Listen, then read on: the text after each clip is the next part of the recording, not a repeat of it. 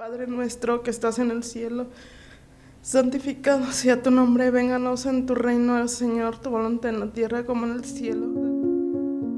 La paz esté con ustedes. Y ustedes saben que no es fácil vivir en paz. Los obispos hemos dicho que quien reza de verdad no es violento. Es el momento de revisar cómo estamos orando y cómo estamos trabajando para ser discípulos misioneros de reconciliación y de paz. Dios les bendiga. Bueno, yo soy la, una señora mamá de un chavo que hace un año, ahora en mayo, perdió su vida a causa de ganar un poco más de dinero y tener un poco más de dinero para hacer una cosa mejor.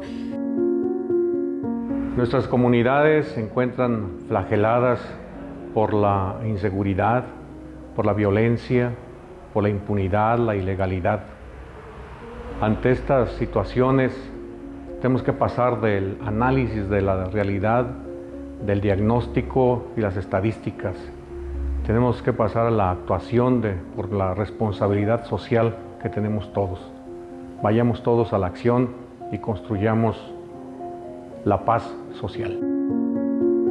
Pedir por este medio para todas las mamás que hagan, hagan y pidan oración para todos nuestros hijos, que tenemos muchos más en la vida y que no quiero verlas sufriendo igual que este momento estoy sufriendo yo.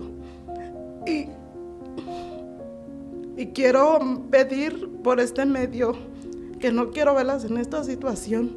Le digo porque yo desde entonces no he podido vivir mi vida en paz. Cristo es nuestra paz. Ante la ola de violencia, ante la ola de injusticias y de desaparecidos, ya hace un año que hemos estado haciendo oración, que hemos elevado nuestra voz. Ahora queremos unirnos en oración el próximo domingo. Con Cristo podremos vencer la violencia. Con Cristo encontraremos la paz. Yo soy una de las personas este, que perdió un hijo. Desgraciadamente perdí uno de mis hijos, me lo mataron. Y pues yo no quisiera que más personas estuvieran pasando, estén pasando por esto ni que pasen por esto. El último de abril lo vi recargado en su pared. Me dijo, nos vemos a las 11 de la noche. Fue una época y un día que jamás lo volví a ver y jamás me pude despedir de él. Y lamento y le pido a Dios que Dios me dé tranquilidad en un momento para que algún día Dios me perdone porque no supe ser una buena madre y darle las mejores palabras. Y por eso todas las madres del mundo hablen con sus hijos.